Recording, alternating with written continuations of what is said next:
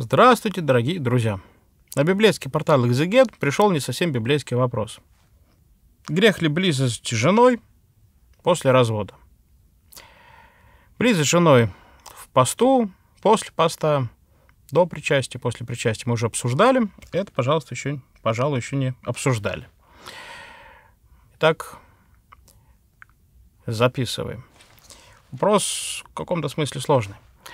Надо разные аспекты его рассмотреть, э, потому что, в принципе, даже если вы и развелись, все равно вы еще являетесь частью друг друга.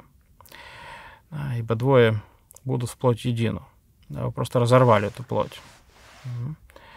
Но если вы не соединились с кем-либо еще и поняли, что, наверное, вы здесь поторопились, накосячили, надо еще поработать от созидания любви, как-то вернулись друг к другу, а, и как-то опять живете муж, как муж и жена, то некоторая видимость брака существует. Попытка его исцеления, залечивания нанесенных этим разрывом ран – и мы такие пары повторно не венчаем. Мы говорим, что благодать вернулась. Вы снова, если стараетесь сохранить семью, вот, в... влить в нее новые силы, то значит, вот как-то благодать еще действует. Конечно, мы призываем все-таки этот брак оформить официально, чтобы была не просто видимость брака, а настоящий брак, а чтобы каждый нес ответственность, в том числе юридическую, друг за друга, а не просто в таком браке, который как бы вроде бы просто излеченный брак, мужчина думал, что он свободный, а женщина думала, что замуж. А потом опять вдруг какая-нибудь вожа под хвост попадет, через 10 лет все, ухожу, Э, выходи, выметайся из квартиры, ну что, что вместе купили, я сильнее. Кто сильнее, тот и прав. А я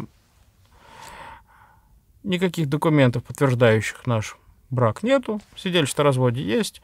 Ни детям ничего не оставлю, ни тебе. Давай, я уже... У меня новая любовь, настоящая, искренняя. Вот она только она меня понимает, ты меня не понимаешь. Вообще ты постарел и пострашнел.